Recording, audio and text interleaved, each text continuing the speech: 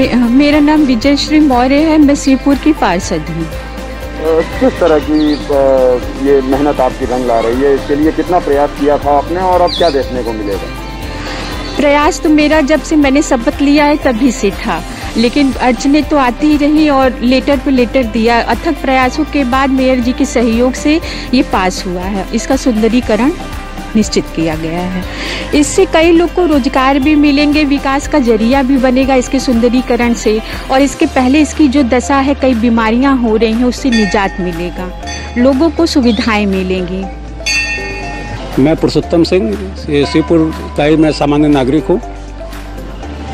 और आज हम लोगों को समाचार पत्रों से ज्ञात हुआ कि हम लोगों के क्षेत्र की सभासद महोदया के प्रयास से यहाँ शिवपुर में रानी पोखरी को एक पर्यटक स्थल के रूप में मान्यता इन्होंने दिलवाया है और हम लोग पहले इनके प्रयास के लिए हम इनका साधुवाद देते हैं और इनके, हम लोग आगे हमेशा इनके प्रोत्साहन के लिए बराबर हम लोग तत्पर रहेंगे।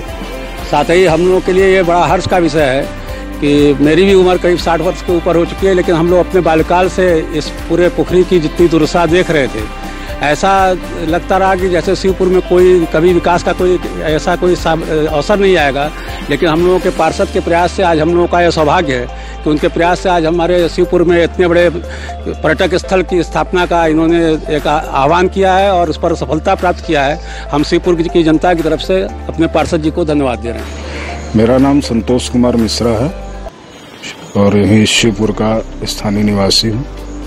संतोष जी नगर निगम अब रानी पोखरी को लेकर तैयारी कर रहा है। दस करोड़ का बजट भी पास हुआ है। पिकनिक स्पॉट बनाया जाएगा। क्या मानते हैं? कितनी पुरानी ये तालाब थी और अब आने वाले समय में जो डेवलपमेंट होगा, उस पर क्या प्रतिक्रिया है ये उत्तर प्रदेश सरकार और नगर निगम का एक अच्छा पहल है। बहुत पुरानी ये पोखरी है, डेढ़ दो सौ वर्ष पुरानी, जो उदासीनता की ओर थी। आज उसके विकास के लिए नगर निगम ने उसका खाका तैयार किया। इसके लिए हम नगर निगम वाराणसी और यहाँ के जिलाधिकारी, सर्वप्रथम मुख्यमंत्री योगी आदित्यनाथ जी का भी आभार प्रकट करते हैं कि उन्होंने इस दिशा में एक अच्छा कदम उठाया। इस कदम को उठाने से इस क्षेत्र का बहुत विकास होगा, सर्वांगीण विकास होगा। और बहुत से ऐसे अवसर प्राप्त होंगे लोगों के खान पान की व्यवस्था होगी पिकनिक स्पॉट टाइप का ये बन जाएगा तो कितना सुंदर बात होगी, क्योंकि ये ऐसे भी वाराणसी का उपनगर है, काशी का उपनगर शिवपुर है, और यहाँ अगर ऐसी बात हो रही है तो यहाँ के स्थानीय निवासियों के लिए और पूरे वाराणसी के लिए गर्व की बात है, विशेषकर शिवपुर वालों के लिए गर्व की बात है। इससे बहुत प्रसन्नता मिली है और इससे क्षेत्र में भी बहुत प्रसन्नता की लहर दौड़ रही है, जब से यहाँ के निवासियों ने सुना है कि नगर निगम के द्वारा जो यहाँ से भेजा गया था प्रस्ताव, वो उत्तर प्रदेश सरकार ने 10 करोड़ का प्रस्ताव इस पोखरी के तालाब के संरक्षण के लिए दिया है, जिससे इसका विकास भी होगा और तालाब का संरक्षण भी होगा। मैं रोहित मौर्य, शिवपुर पार्षद पति। रोहित जी, ये किस तरह की कवायद हो रही है रानी पोखरी को लेकर और रानी पोखरी कितनी प्राचीन है और अब आगे आने वाले समय में क्या देखने को मिलेगा आपके प्रयास से? रानी पोखरी लगभग 5.3 हेक्टेयर में स्थित है और ये नगर निगम की, नगर निगम का तालाब है और बस, और ये भी कह सकते हैं कि बनारस का ये सबसे बड़ा तालाब है। इससे बड़ा तालाब पूरे बनारस में कहीं नहीं है।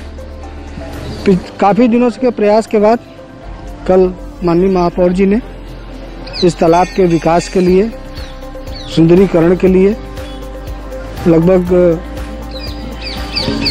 आठ करोड़ रुपए के आसपास इस पर स्वीकृति दी है। और ये एक टेंटेटिव बजट बनाया गया है इसमें काम के बढ़ने और घटने के अनुसार इसमें पैसे बढ़ो बढ़ घट सकते हैं। इस त, इस तालाब के सुंदरीकरण के बाद तालाब के किनारे किनारे चारों तरफ़ पाथवे बनेंगे। उसमें पैडल बोटिंग होगी। और उसमें लाइटें लगेंगी फवारे लगेंगे। यहाँ पर अगर ये कार्य पूरा हो जाएगा तो यहाँ के कई लोगों को रोज़गार भी मिलेगा और शिवपुर की दशा और दिशा बदल जाएगी। मैं हरेंद्र जायसवाल, नागरिक सुरक्षा पोस्ट वार्डन हूँ। ये पार्षद जी के सहयोग से शिवपुर में बहुत ही ऐतिहासिक काम होने जा रहा है। जो पर्यटक के दृष्टि से बहुत ही महत्वपूर्ण है। हमें लग रहा है कि ऐसा कार्य शिवपुर में आज तक किसी भी पार्षद ने नहीं किया है, जितना ये सुंदर कार्य होने जा रहा है। इसमें चारों तरफ़ पाथवे बन के हरियाली का पेड़ और भी लगाए जाएँगे, जिससे प्रदूषण से मुक्ति भी मिलेगी और हरियाली भी मिलेगी और बहुत ही सुंदर कार्य होगा और पर्यटक का बढ़ावा भी मिलेगा काफ़ी।